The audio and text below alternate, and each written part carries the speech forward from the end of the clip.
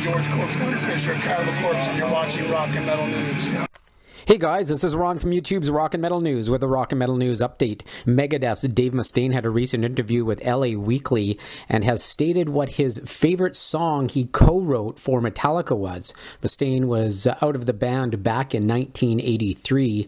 So Dave stated, "My favorite Hmm, interesting, good question. You know, I like Phantom Lord and Metal Militia because they are very interesting songs, but I think if you were going to go for my favorite Metallica song that I wrote, it would probably have to be Ride the Lightning instrumental Call of Ktulu. It stands on itself, and when you have a song that can stand on itself without words, that's a big statement. You can check out that full article in the link in the description.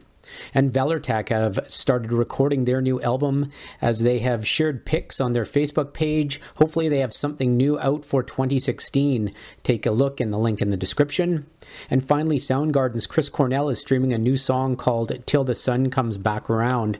And it's uh, for the new film 13 Hours The Secret Soldiers of Benghazi. Uh, you can listen to it in the link in the description, thanks to the audio mug. This is Ron from YouTube's Rock and Metal News. Thanks for tuning in.